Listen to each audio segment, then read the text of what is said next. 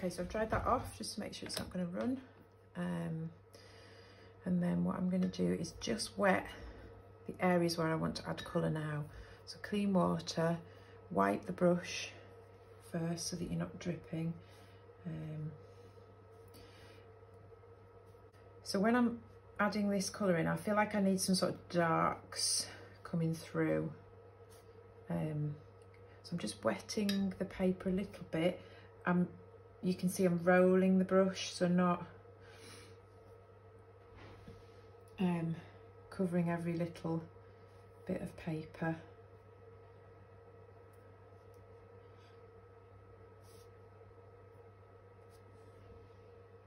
Just to get some mark, darker shapes coming through. Okay, so I'm hoping that this is just gonna sort of link colours and just give it a bit of depth because we've already got one colour underneath there.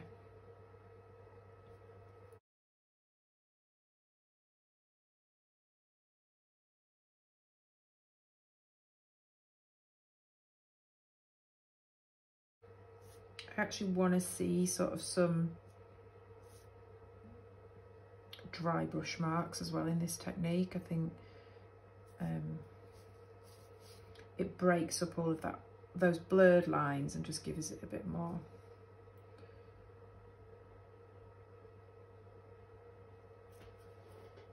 focus.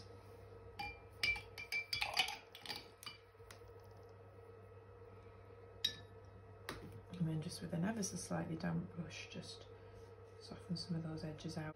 I'm just going to soften those out a bit.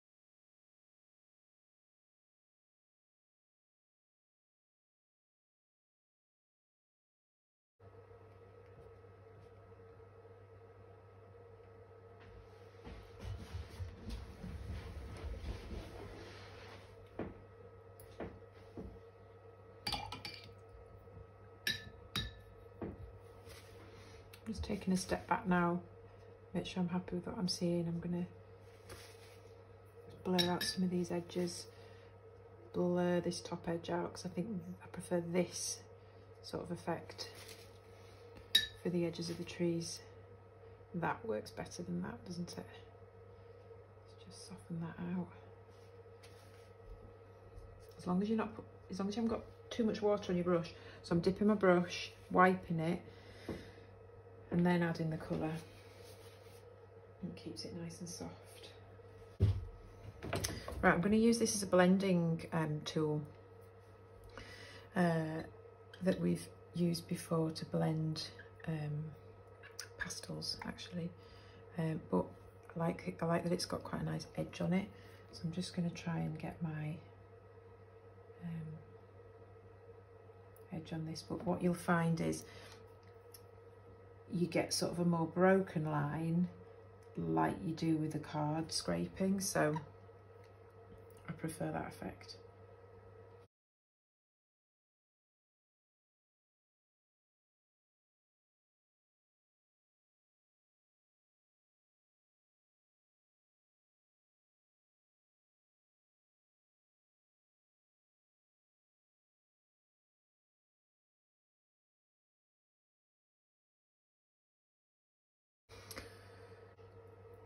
Do let me know what you think.